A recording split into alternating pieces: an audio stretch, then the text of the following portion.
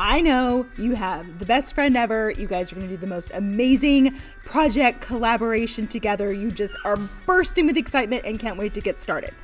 Well, please pay attention to this video because I personally have been in those shoes, not once, not twice, probably more times than I care to admit. And I've also lived through one incredibly messy business divorce. And trust me, you do not want to go through a business divorce, which is having to rip apart an existing collaboration or partnership. So, that is what I'm going to help you see in the midst of all your euphoric bliss of, well, no, no, no, no, no, this is going to be a fabulous project. I'm sure it will be. So please pay attention. I like to start with a trigger point so that you know whether this is going to apply to you in the slightest. So, if you are interviewing people for a podcast, interviewing them for your YouTube channel, having them guest blog post, running a virtual summit together, running a retreat together, running a course together, bringing people into your membership to contribute content. All of those are instances where you are technically working together. There is a collaboration of some sort. You need to pay attention to this video now. And even if you are not doing it today, put it in as a Netflix watch because when the time comes, you are going to be so thankful that you're like, oh, I don't have to go through a messy business divorce because I paid attention to that crazy lady on YouTube all those many, many, many months or years ago. So let's dive in. I'm going to walk you through it, and I think you'll be entertained as we go.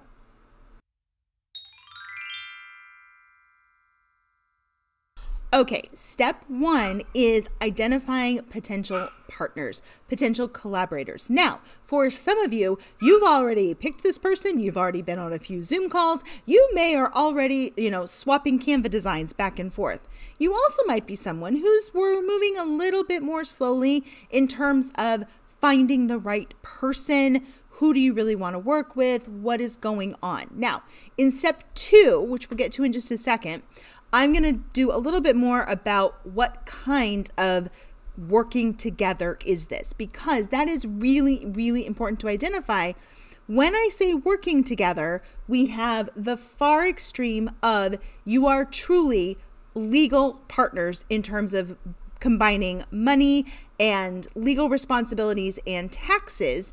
And you have something at the other end, which is far more hey, we're going to do a series of videos together and we're going to toss them up on YouTube. Or we're going to, you know, each share some blog posts on each other's site. Like collab working together has a broad definition. So, the person that I might want to be a legal partner with, which in my case, that's the one that I talk about when I talk about my business divorce. Thankfully, we stopped before legal and financial and taxes were woven together, but it was at the 1 yard line. And then at the other end, you you can be I don't want to say more forgiving, but it's different. You know, the person that I'm doing some uh, let's say a five part video series with over here that might live on YouTube is very different than someone that I'm bringing into the legal, financial, and tax aspects of my business. So when you are looking at that, I always say when someone shows you their true colors, believe them. Have your eyes open. If you see someone, you're like, oh my gosh, it's amazing. And then you see them do something that you're like, hmm, it's a little odd. But then you go, oh, but they'll be fine with me. No, just stop right there. When someone shows you their colors, pay attention. Pay close attention. Have people around you, especially if you're trying to like do a very tightly woven deal, make sure you're getting the right person because it's really important. And people are they don't change their colors. They really don't. Someone that is completely disorganized and 45 minutes late for an appointment is always going to be completely disorganized and maybe 30 minutes late for an appointment. So you can find these people anywhere. You could find someone, uh, you know, at a restaurant that you bump into and you strike up a conversation, and who knows where it goes. You could have an introduction where someone knows both of you from either side and is like, hey, I think you guys might be onto something. Any other, you know, home edit friends here? Because that's exactly what happened. You could meet them at networking events. You could meet them in a Facebook group. You could meet them, honestly, anywhere. But as you are looking at this, please, please, please just keep your eyes open because identifying the potential right person means when you see things, don't sweep them under the rug. Okay? It doesn't mean they're a bad person, not in the slightest. It just means, hmm, this, if this only gets worse from here on out, am I still okay with it? So that is step one identifying the right people. And once you've identified them, pay very, very, very close attention to all that makes up that person.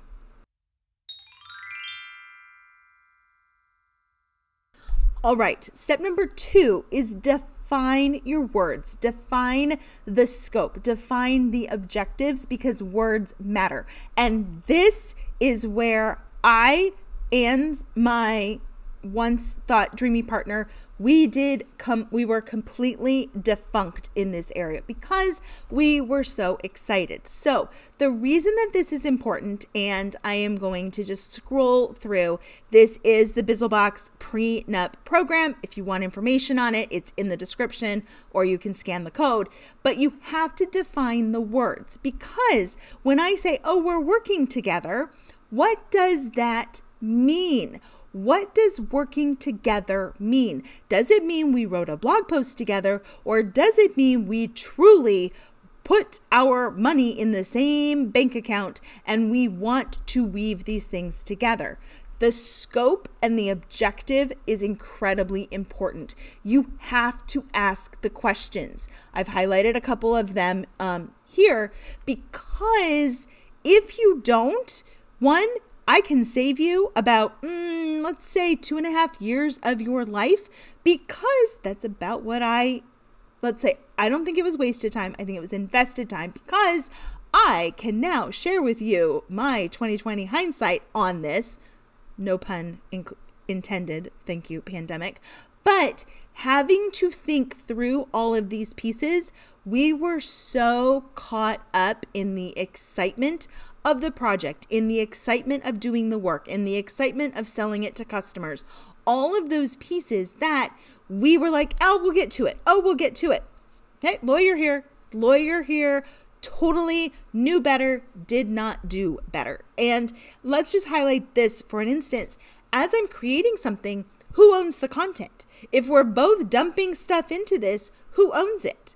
Now, some of these questions are going to kind of probably make you go, eh, I, I don't want to ask that. Like, mm, they're going to think I don't trust them or they're going to think I'm not nice. No, they are going to think you are the smartest, wisest, most on top of it person they have encountered. Because people that take the time to define the scope and the objectives with specificity are people that want to protect things. They want them to succeed. They want them to move forward. And that is the person that you want to be in a partnership with, in a collaboration with. So, number two is incredibly important. There's lots of different areas that this is going to come into play for sure, but you absolutely you have to be specific when you are defining what is going into this partnership, who owns what, who is paying what, how are things getting paid, all of those million and you know gazillion decisions that you make on a daily basis again across the spectrum don't need as much input over here when it's a looser partnership collaboration than I do at the other end where I'm literally blending legal, financial, and taxes together. I am always so curious, and I probably drive my husband and my kids nuts with this, but in the comments below, tell me what is a word that if you said, Hey, Tamsen, what does this mean? That the chances of you and I having not the exact same definition are highly likely. I'm going to put some of my favorite ones in the comment below so you can see them, but it will drive home the point our words matter. You are at a point where you get to decide what those words mean for you, for the people that you want to work with, and there is nothing better. So, I I'm really looking forward to seeing if the words that I are always my biggest offenders. Um, if you have some of the same biggest offenders.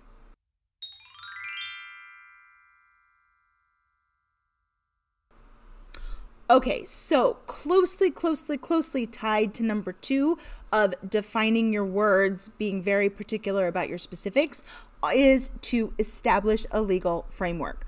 Contracts are your friends.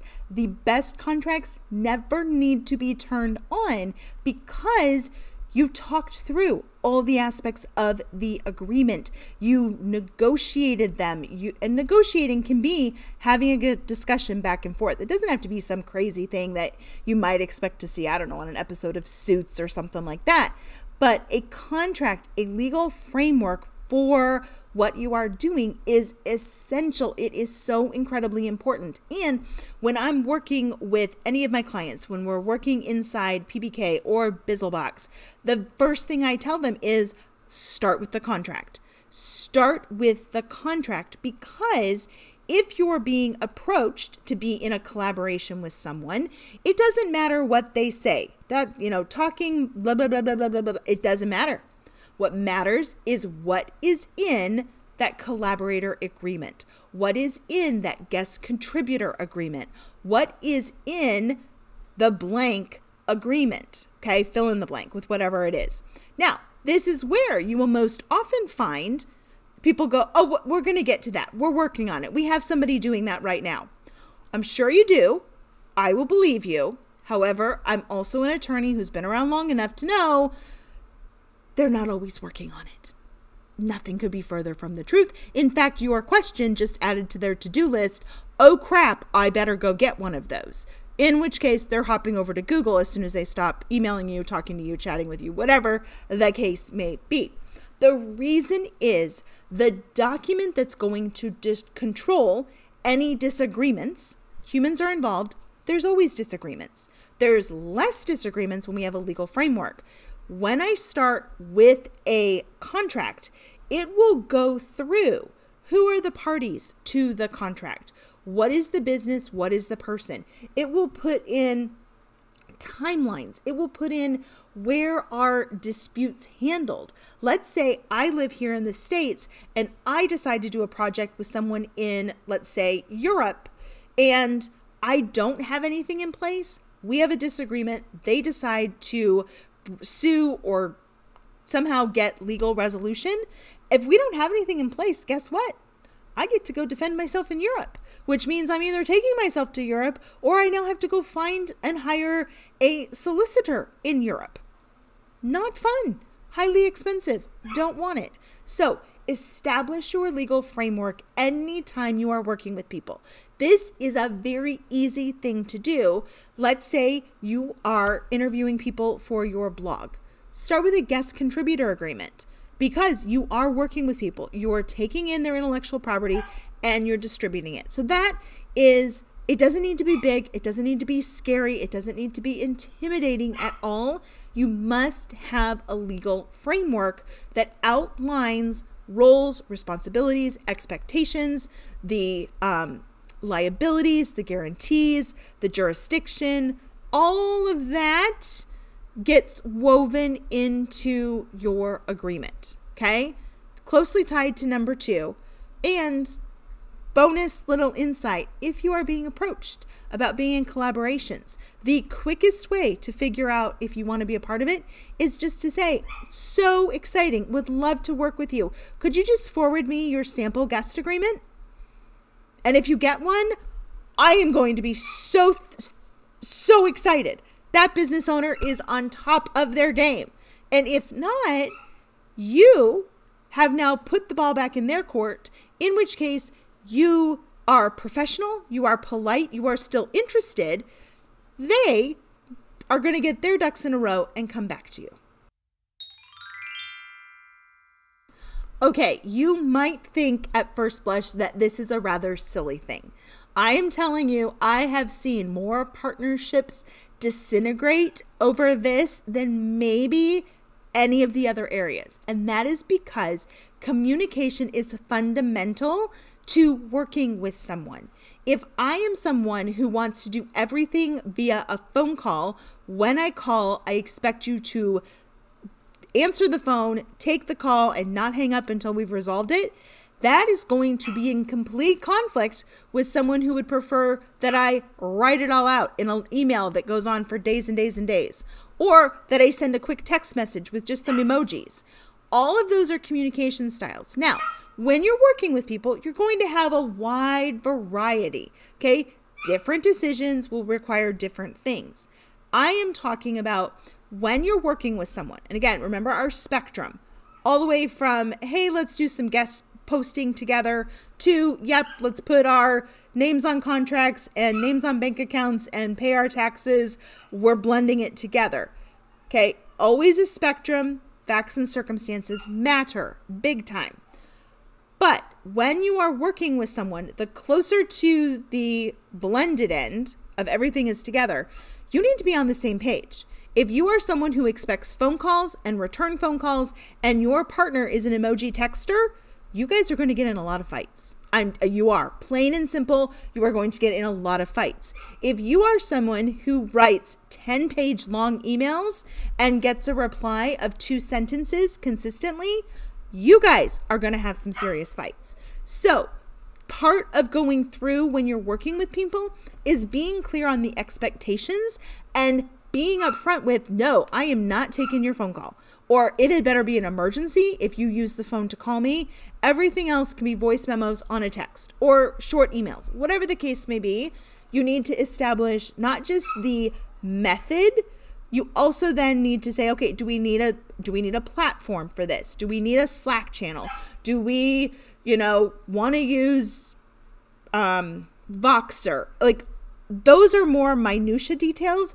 I am what i see when people are disintegrating and starting to have fights yes there's there are deeper underlying issues. However it is the communication paths that exacerbate the effect. They make it heightened. They make it bigger than it is because the person that poured out their heart in the 10 page single spaced email and gets a two sentence reply, they're ticked off. The person that gets the two, the, that sends two sentence emails and has to read the big email, one now with chat gpt they're probably taking the big email popping it into chat gpt and saying summarize this in 30 words or less for me.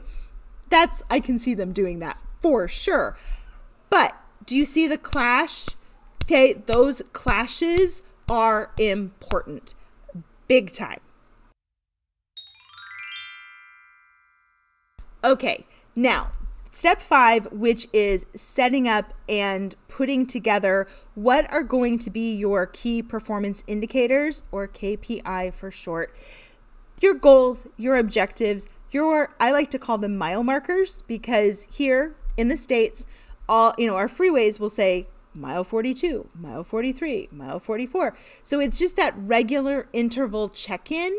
That's what I'm referring to in this step when you set out to do something, you need measure what are we measuring this by? How do we know if it's a quote unquote success? How do we know if we want to do it again? How do we know if we want to put ad dollars behind it, take away ad dollars? So, when you are putting together a collaboration, you need to make sure that you have a measuring stick your KPIs. Um, I've listed some of them out. Um, you can check it out on the blog or just scan the code and unlock the bonus content and resources for this video anytime. You need to know those things because if you don't, you're just like, well, I think it's kind of sort of working. Mm. Okay. Again, depending on the level of involvement. But in this instance, I find that having those key performance indicators at what I'll call more loosely, you know, put together collaborations. Um, and in fact, this shows up huge, huge, huge, huge, huge. Can't even tell you how many this shows up. People are like, "Oh, I want you to come and be a guest because I have this massive audience and I can, you know, do all of these amazing things for you." Okay, so what are we're going to try this out for three months, six months, a year, whatever the case may be. You'll know real quick. Okay, we're going to track how many true opt ins come from your promotion of this thing. We're going to track how many sales come from this thing. We're going to track how many downloads from this thing because there are lots of people with very, very, very big audiences. And my, uh, this is my unofficial way, but very observationally based. The louder you have to tell me how big your audience is, the smaller your audience really, really is. So keep that in mind, but set out what are the performance indicators that you want to use, knowing these can change. You don't have to go all in and have, you know, 10 KPIs. You can go in and pick, we're going to have two. We're going to start with two. We're going to start with three. Whatever the objective and the goal is, pick something that lines up and complements that. Okay, that is the best advice that I can give you when it comes to working with other people. If you would like me to make a video going through my own messy business divorce, let me know. I haven't done so before, and I can change names to protect all of us. Um, but this is important. It is important for guest contributors. It is important when you're interviewing people on a podcast. And it is most definitely important if you decide to do things like run virtual summits together, or build a product together, or run a retreat together. All of those are instances where you really, really, really, unless you're willing to gamble with your own personal money, your personal relationships, your personal legal obligations, I am not willing to do that. Uh, this can go really badly, incredibly fast. My own business partnership, literally after two and a half years, completely disintegrated in less than 72 hours. So, on that pleasant note, thank you for watching. Next video is all ready for you. Bye.